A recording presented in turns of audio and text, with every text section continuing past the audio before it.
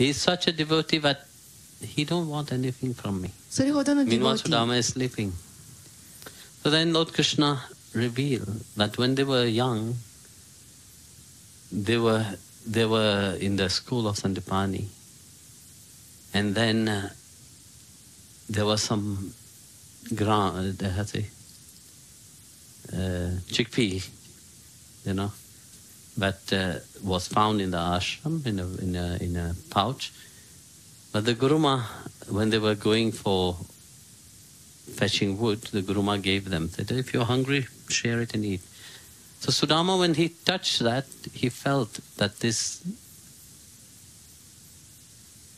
that's it, chickpeas were cursed. Because that chickpeas belonged to an old Brahmin lady. She had saved it and said, I will prepare bhog, I will offer it to God and I will eat it as prasad. Meanwhile, the, some thieves came. They thought it was treasure inside, they thought there was gold inside, so they stole it. And when they realized the chickpeas, they just drop it. And it dropped near the ashram of Sandipani. So then the morning, Guru Ma found it and said, okay, just chickpeas, I will keep it, I will give it to them when they go for fetching of wood. So Lord Krishna carried on explaining that when they were they went and they collect the wood and start to get dark and they went up the tree. Sudama stayed down and he started eating all the rice. And Krishna said, I am hungry. Would you feed me also? You know, what you are eating? And then Sudama lied, said, No, I'm not eating anything. In reality, he was eating all the, how say, chickpea himself. Because inside of him, he said, How can I offer something which is poison? know, something which is contaminated by a curse. Whoever will eat of that will always be miserable throughout their life. So Sudama thinks that he's my friend, he's God himself. Which kind of God can be miserable? He don't want Krishna to be miserable.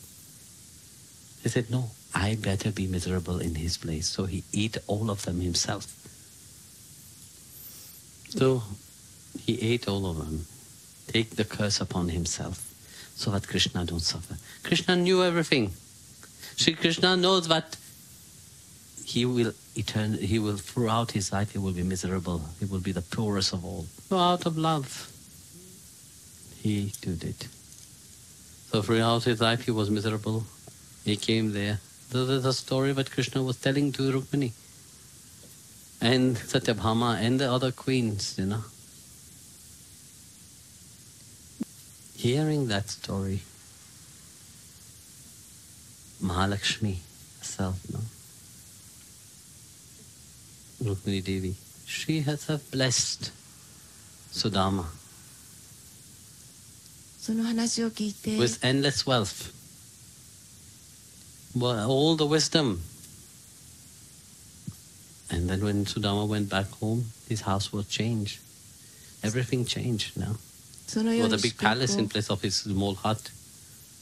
It's the mercy of Bhagwan, you know.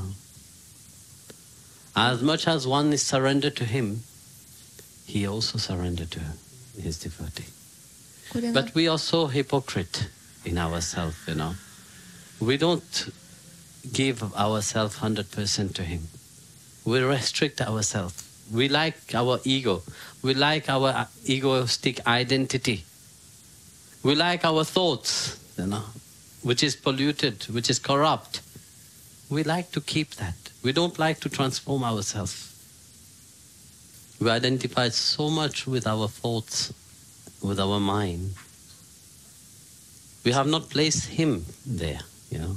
Sudama, in spite of all the calamities that he goes through, uh, all the chaos that he was happening in his life, all the misery, misery he was in his life, but his Krishna was always there. He had this firm conviction that Krishna is inside of him. His mind was not corrupt. A devotee mind should not be corrupt. Devotee mind should be always focused on Guru and Krishna's feet.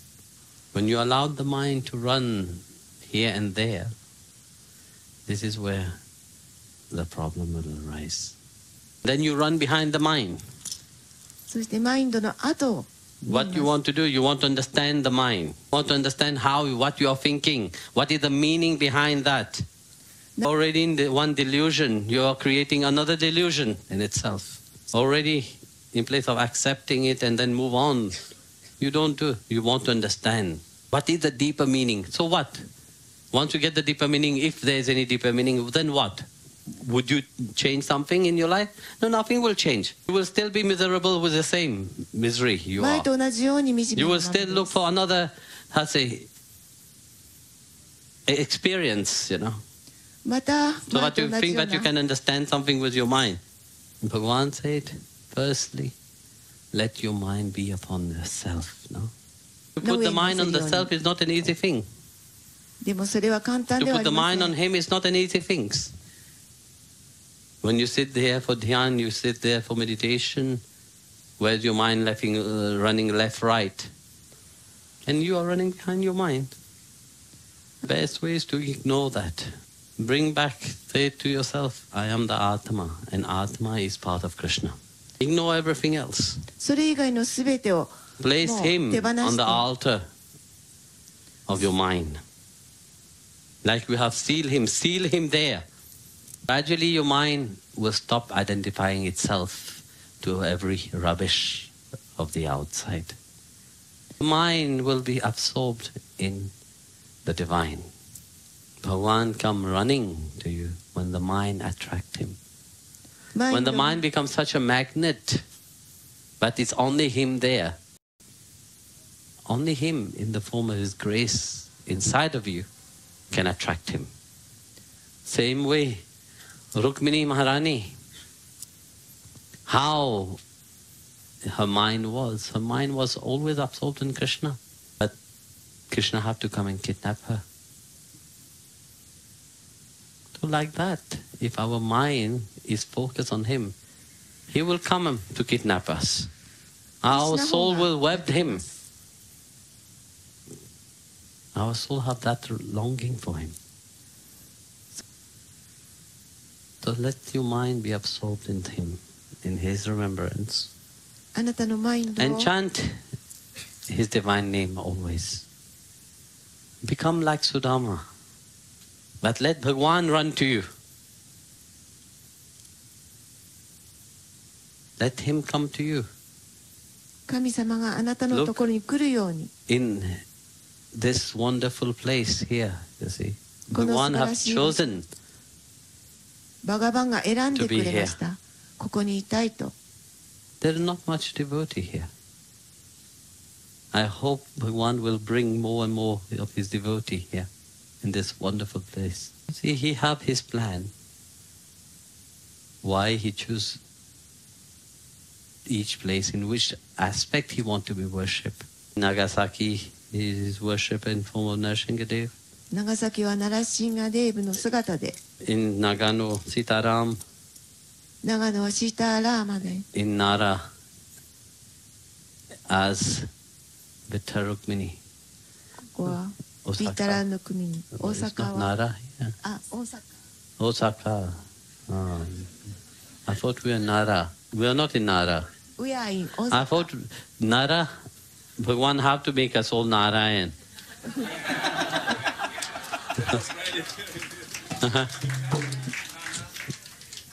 so from Nara, which means human, you become Narayan, which is Bhagwan.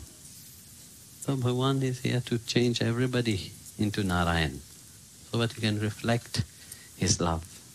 So, Arti now it's like